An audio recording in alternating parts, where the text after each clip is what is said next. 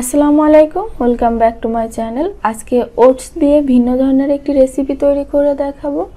আর রেসিপিটির নাম হচ্ছে ওটস চিল্লা। শুনতে অনেকের কাছে ভিন্ন ধরনের মনে হতে পারে, কিন্তু খেতে ভীষণ মজার হয়। এই নাস্তাটা আর খুব ঝটপট অল্প সময়ে হাতের কাছে থাকা উপকরণ দিয়ে তৈরি করা যায়। তাহলে চলুন কীভাবে তৈরি করতে হয় দেখে নিই। প্রথমে আমি ওয়ান থার্ড কাপ পরিমাণ ওটস নিয়ে নিচ্ছি। আপনারা একই রেসিপিতে বাড়িয়ে কমিয়ে নিতে পারেন। আর সুজি দিয়ে দিচ্ছি দুই টেবিল চামচ পরিমাণ।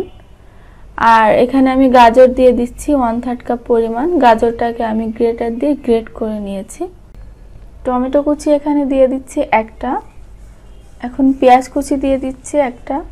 মিডিয়াম সাইজের পেঁয়াজ আমি দিয়েছি। আর কাঁচামরিচ কুচি দিয়ে দিচ্ছি দুইটার মতো। আপনারা আপনাদের স্বাদ মতো দিবেন। চিলি ফ্লেক্স দিয়েছি হাফ চা চামচ পরিমাণ। আর দিয়ে দিচ্ছি ওয়ান ফোর চা চামচের মতো হলুদের গুঁড়া, চাট মশলা দিয়েছি হাফ চা চামচ পরিমাণ, আদা বাটা দিয়েছি হাফ চা চামচ পরিমাণ, আর রসুন বাটা দিয়ে দিচ্ছি হাফ চা চামচ পরিমাণ। আর এখন দিয়ে দিচ্ছি বেসন দুই টেবিল চামচ পরিমাণ। অবশ্যই এখানে বেসনটা দিতে হবে। আর স্বাদ মতো দিয়ে দিচ্ছি লবণ। এখন দিয়ে দিচ্ছি ধনিয়া পাতা কুচি, দুই টেবিল চামচ পরিমাণ। আর হাফ কাপ দিয়ে দিচ্ছি পানি। পানিটা আমি একবারেই দিয়ে দিয়েছি। সব উপকরণগুলোকে ভালোভাবে মিশিয়ে নিচ্ছি। এই রেসিপিটা অনেক স্বাস্থ্যকর একটি রেসিপি। অনেক সময় একঘেয়েমি ওটস খেতে ভালো লাগে না। তখন চাইলে এভাবে ঝটপট স্বাস্থ্যকর এই রেসিপিটা বানিয়ে নেওয়া যায় খুব সহজেই। আর আমি হাফ কাপ পানি দেওয়ার পরে আমার মনে হয়েছে এখানে পানির পরিমাণটা আরও একটু বাড়িয়ে দিলে ভালো হয়। তাই আমি এখানে ওয়ান ফোর কাপ পরিমাণ পানি দিয়েছি। এখন আমার এই ব্যাটারটা পারফেক্ট হয়েছে।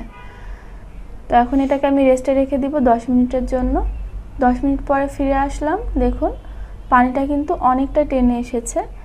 আর এখন যেরকম অবস্থায় আছে ব্যাটারটা এরকমটাই কিন্তু আমার প্রয়োজন।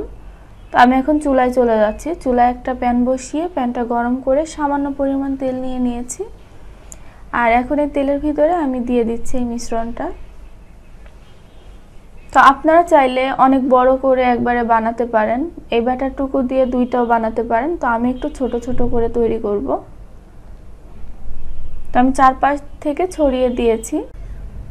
আর এখন সাইড থেকে আমি একটু চেপে চেপে দিচ্ছি। এলোমেলো যে অংশগুলো আছে তো এক পাশটা যখন কালার চলে এসেছে, তখন আমি উল্টিয়ে দিচ্ছি। তো এখন আমি চেপে চেপে ভেজে নিব। সাইড থেকে আমি সামান্য পরিমাণ তেল দিয়ে দিচ্ছি। তারপরে আবারও যখন নিচের পাশটা সুন্দর কালার চলে আসবে, তখন উল্টিয়ে দিতে হবে। আর উল্টিয়ে পাল্টিয়ে এরকম হালকা হাতে চাপ দিয়ে দিয়ে এগুলোকে ভেজে নিতে হবে। তো আমারটা ভাজা হয়ে গিয়েছে, আমি উঠিয়ে নিচ্ছি। তো এইভাবে সবগুলো তৈরি করে নিয়েছি। এই রেসিপিটা খেতে খুবই ভালো লাগে, আর এগুলো কিন্তু অনেক পাতলা হয় আর মুচমুচে হয়। গরম গরম খেতে খুবই ভালো লাগে। তো এইভাবে বাসায় তৈরি করবেন। আর আমার আজকের রেসিপি আপনাদের কাছে কেমন লাগল কমেন্ট করে জানাবেন। আল্লাহ হাফেজ।